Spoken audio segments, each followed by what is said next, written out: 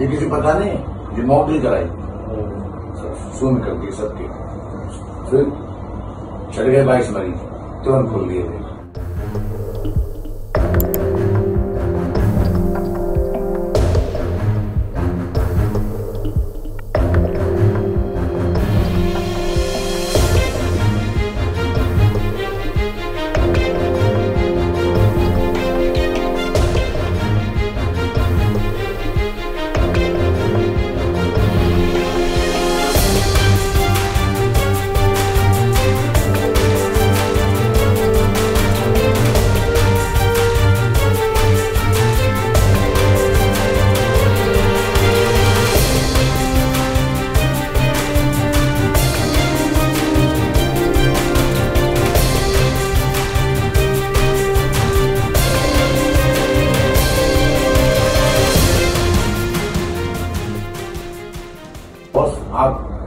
समझाओ डिस्चार्ज करना शुरू करो। ऑक्सीजन कहीं नहीं है। मुख्यमंत्री नहीं मंगा सकता ऑक्सीजन आपको बता दूँ सिचुएशन मोदी नगर ड्राई हो गया। हमारे हाथ पर फूल गए हमने भैया फिर कुछ लोगों को व्यक्तिगत तौर पर समझाना शुरू किया।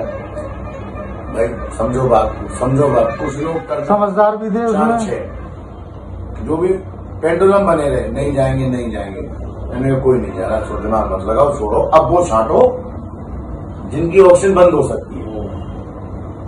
जो बिल्कुल ही डेडलाइन पे है। एक ट्रायल मार दो दोपहर में एक मॉक ड्रिल करके देख लो। समझ जाएँगे कौन सा मिलेगा कौन सा नहीं मिलेगा। सही बात है सही बात है। एक मॉक ड्रिल करी हमने सुबह सात बजे मॉक ड्रिल हुई सब दोषी नंबर ये किसी पता नहीं ये मॉक ड्रिल कराई। सुन करके सबके। फिर चढ़ गए बाईस मरीज़ तुरंत खोल दिए थे। बाईस मरीज़ छट बाईस गए। और भाई ये मरेंगे। और कितनी देर के लिए मकडिल करा? पाँच मिनट के पाँच मिनट में बाईस मरीज़ मकडिल ओए नीले पड़ने लगे। ओहो ओहो। बाईस की मॉकड्रिल में बाईस छट गए। चलो। जी बचे। सेवेंटी फोर बचे। सही बात है। महीने टाइम मिल जाएगा। फिर वो सलाह अपना अपना सिलेंडर लाओ। तामीरदारों से। हाँ। कुछ लोग उसमें सबसे सबसे बड़ा प्रयोग यही रहा। सबसे बड़ा प्रयोग यही रहा।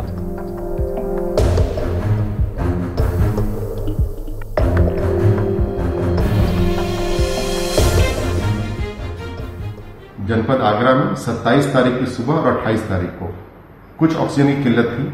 आ, इसमें हम लोगों ने जो अपनी लोकल व्यवस्था की थी हमारे यहाँ एक एयर टू ऑक्सीजन प्लांट था प्लांट था सिकंदरा में।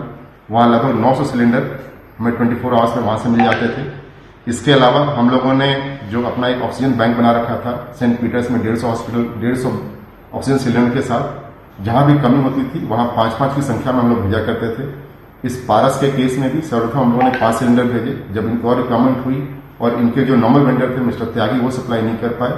पार्थ, जो हमारा एक अच्छा सप्लायर था, उसने इस समय काफ़ी मेहनत किया था। उनके द्वारा भिजवाया गया।